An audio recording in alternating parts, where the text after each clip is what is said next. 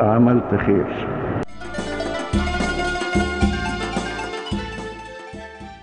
واحد بيقول هل الإنسان يعتبر مسؤولا أمام الله إذا أنكر الإيمان في حالة اللاوعي أو تحت تأثير مخدر؟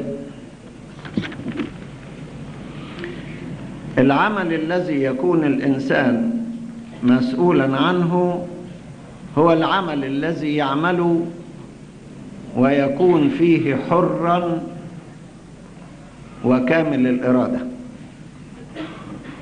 وعاقلا عاقلا وحرا ومريدا الثلاثة دول. إذا كان عقله مش مظبوط تبقى مسؤوليته بحسب نسبة العقل التي فيه. يعني إذا كان مجنون مطبق يبقى لا مسؤولية عليه. إذا كان نص نص يبقى حسب عقله تكون مسؤوليته. حريته إذا لم يكن في حريته يبقى مش مسؤول. وإذا لم يكن في وعيه يكون مش مسؤول.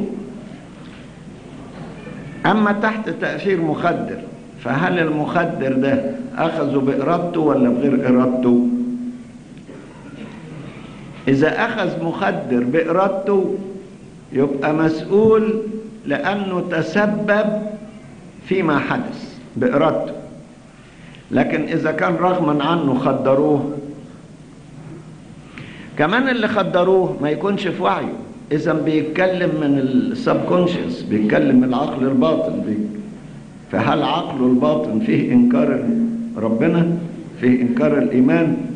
دي تبقى وحشة برضه. لأنه وأنت مخدر مخدر عقلك الواعي ما بيشتغلش. يبقى العقل الباطن هو اللي بيشتغل. فهل العقل الباطن يوجد فيه عدم إيمان؟ دي تبقى كارثة.